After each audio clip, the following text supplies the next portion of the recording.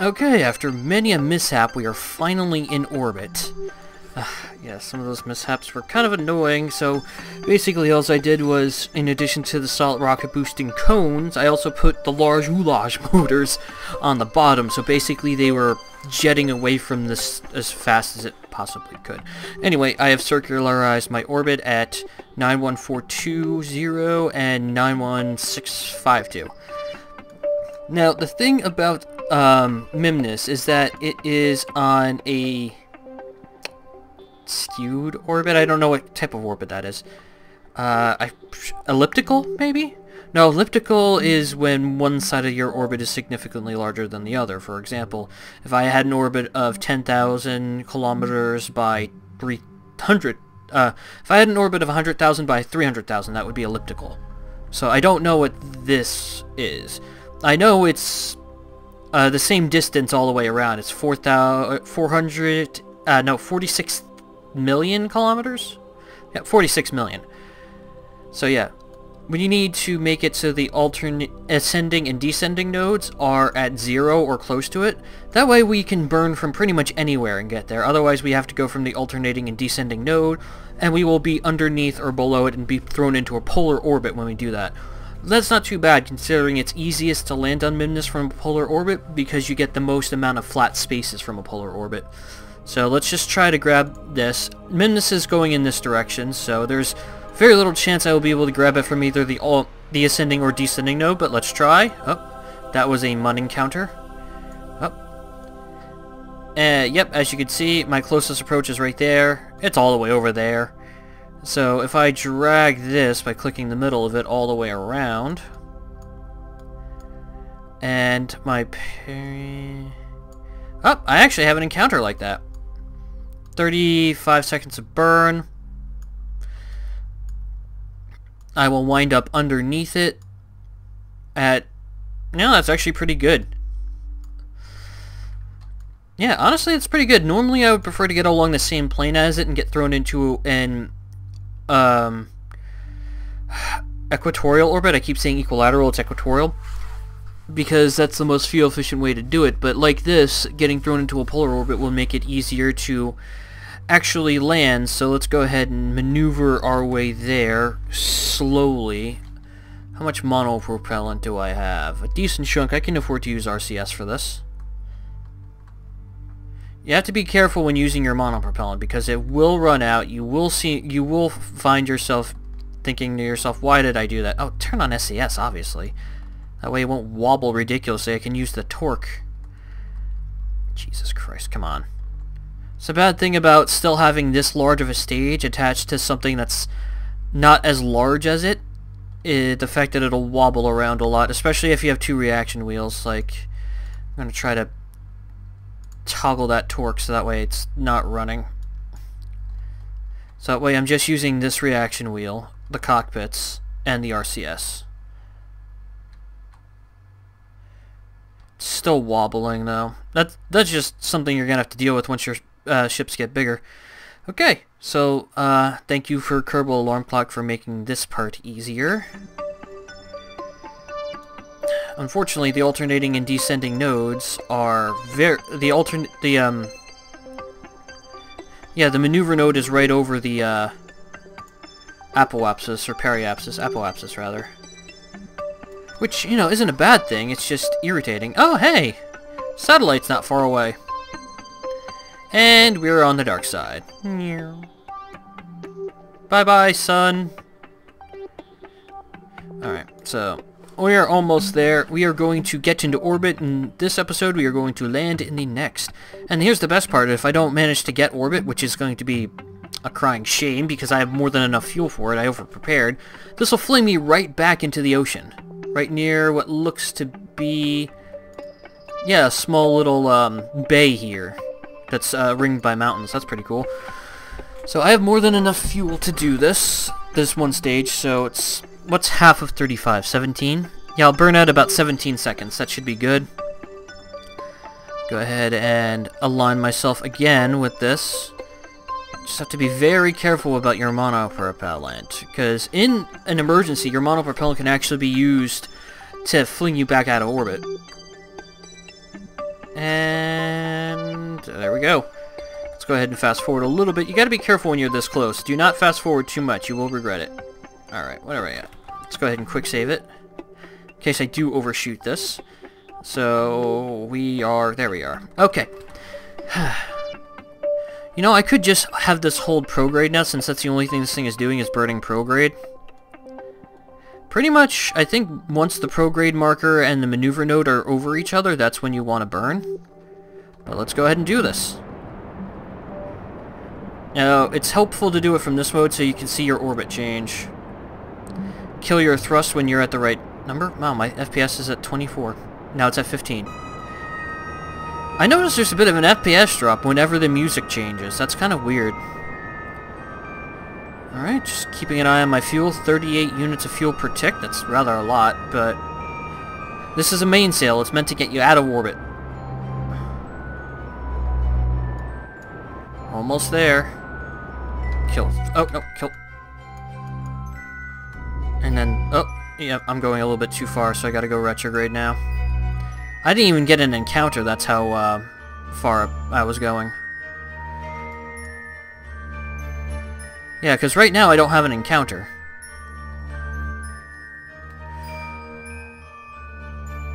Come on. I hate when this happens. How much monopropellant am I burning doing this? A decent chunk, honestly. Yeah, as of right now, I'm on an escape trajectory. Great. And that's just from the uh, monopropellant, so I might want to turn that off. Monopropellant messes with your orbits a lot more than the torque of uh, the capsules and stuff. Come on. Alright, now I'm retrograde a little bit. Okay. And... There we go. We have an encounter. Go ahead and get rid of the maneuver node to make it easier to see. Nope, now we've lost it. That is a bad thing, because this encounter is very difficult to get, because I went ahead and shoved it into a tight window. Alright, let's go ahead and just try to torque our way out.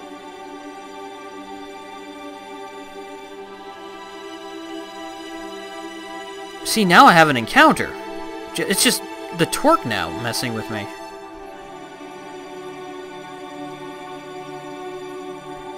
You see, it's like, it's hovering right on the edge of me encountering it. And this is just like, hmm. It's the problem with trying to get into such a tight window. I could have just uh, matched planes with him, with it, and then gotten a much more stable encounter, but... Alright, now I need RCS. Because now I'm going all over the place. Come on, Jebediah, you're better than this. Yeah, I just can't seem to get it right over the node. Oh, it's because I'm still trying to hold... There we are.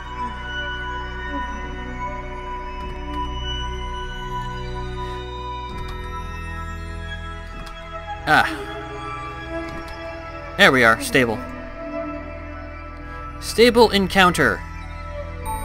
And that's not a very bad periaps, actually. Let's go ahead and turn off my timer.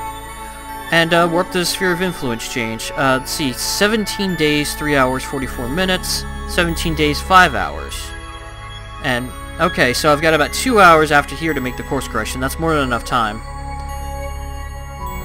Alright, let's go ahead and actually, you know, see Mimnus going away from us. Bye-bye, Mimnus!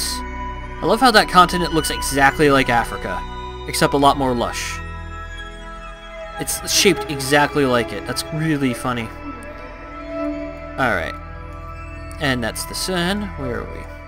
I don't even know where we are right now. Let's go ahead and increase our warp speed a little bit more.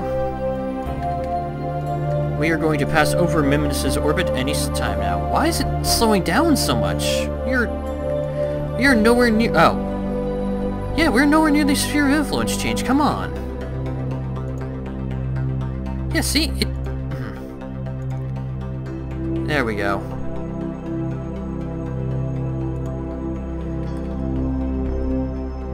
And we are about to encounter.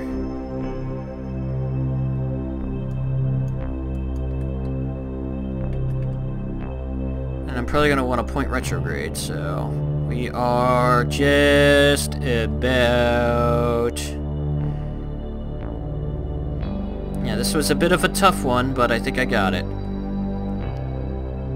After all, I do have enough fuel for... What is it, 39 point something? 31.9, let's just say. Units of fuel. Alright, so I've got, what, 1916 divided by 39.9. That's just, I know it was 31, but I have at least 47 seconds left to burn, so... Let's go ahead, and once we encounter Mimnus, our navball is going to flip around, so... That's why you never want to be going into Mimnus at, um, or any Sphere of Influence change for that matter, during time acceleration, because things are going to flip out on you. And here we go. But the only good thing about this is it's going to launch me right back to Kerbin, so... Let's see if we can see Mimnus from here. No, that's Kerbin. There's Mimnus. Yeah, we want to point retrograde and then burn retrograde here. There we are. Way too tight of an orbit. I can fix that.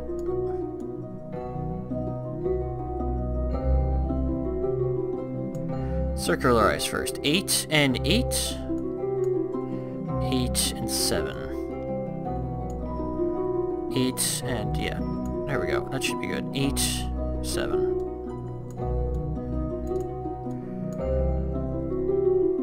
Ah, come on. I'm just trying to be nitpicky here. That's about as close as I'm going to get, more than likely. Point retrograde. It's a, Jesus Christ, a 1 minute and 2 second burn? 62 seconds.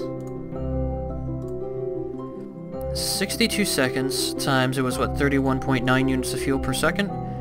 That's more fuel than I have in my current stage. Doesn't seem right to me. Just to achieve orbit?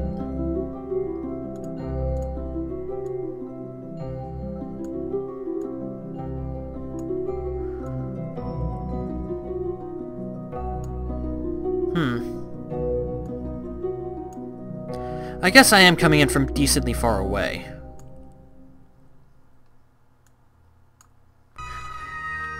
Okay, I guess I can live with that. I did build this so that the lander could land and take off. Guess I spent too much fuel actually, you know, messing around, so... Yeah, I was gonna be like, yo, what are you going at 10,000 times time acceleration for? Come on. Alright, so it's about a minute and two seconds. I don't think I have enough fuel in the stage for that. So I'm going to burn at about 50 seconds. That should give me enough time with this Poodle engine to be able to make it. Plus, it'll be a lot more maneuverable once that happens. Hey, let me turn on the lights so oh, you can see how well this thing is lit up. See? You can see everything. And now you can see nothing. Oh yeah, we are high, uh, high above Mimnus right now, but we are a bit too close to maneuver for me to want to do any science. Alright. Uh, let me go ahead and quick save it.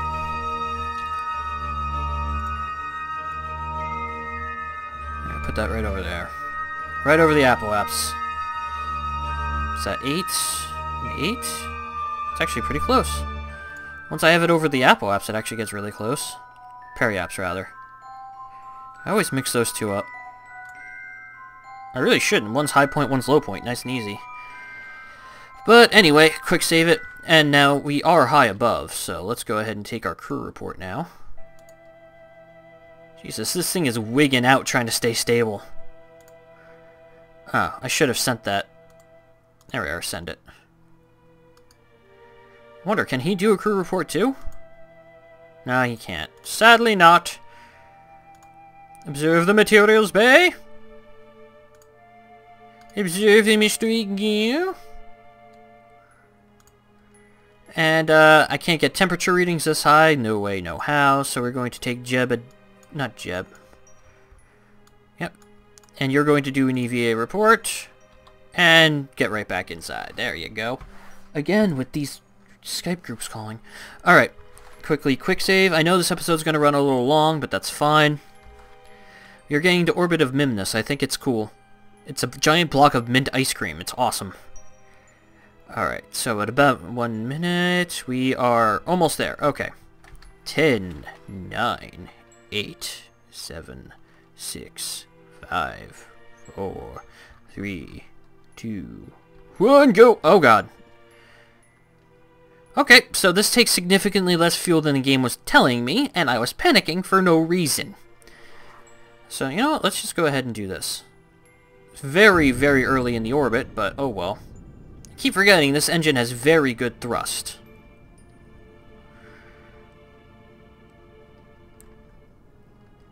Alright, we are getting closer. Just go ahead and get burning nice and slow. There it goes. And stop that. So what am I at? 8,000 and 9,000? Pretty good. Alright, that's orbit. And if I could... There we are. I want to focus on Mimnus, because I've got a very, very, very, very, very tall orbit over it. So what I want to do is I just kind of want to go retrograde and... Jesus Christ, stop wigging out. Bring this in nice and close. And get a better idea. There we are. 100 should be good for now. And I want to warp to the periapsis. And we're apparently under acceleration because of how much we're trying to keep the ship stable. There we go. Look at my satellite going insane! There we go. Oh, let's get rid of the maneuver node. Alright, let's see. How much would this take? Here... circularize? What's this? It's almost there, actually. Oh. 10, 9. 9, 10. 9, 9. 10, 9. Just being nitpicky. 10. Almost. Up. Oh. 9. That's probably as close as I'll get. Yep, that's about as close as I'll get. And then just point yourself retrograde, because that's all this burn is. It's going to take about a second of acceleration. I should probably take a very close look at exactly how much fuel this thing uses per tick. And uh, it looks like I'm going to be coming in over these plains. The I think those are... Now, these are the largest plains on Mimnus. And it looks like I'm not going to come anywhere close to those. So it looks like I'm going to be landing in this, which is very ridge-like around it. It's kind of a tough spot to land, but I will do it because I'm good at this game, apparently. Quick save. I'm great at this game when I'm not reverting flights and quick saving. Yeah! Anyway, if my test run is any indication... Really? You're gonna go that far down? Okay. If my test run is any indication, I will run out of fuel in this first stage as I am landing. So that way I can jettison it jettison it, and then start up my other engines. So, shouldn't be too difficult. Where am I? Oh, I'm focusing on... There we are. It's really taking this much trouble to try to stabilize this thing. Alright, just go with stability assist. How much monopropellant do I have? I have enough. I can use RCS now. I've flown the same configuration to uh, Mimnus a few times, and I've run out of monopropellant quite a few times, so I'm just trying to be careful with it. And the estimated burn is not even there, so pretty much the instant I hit the node...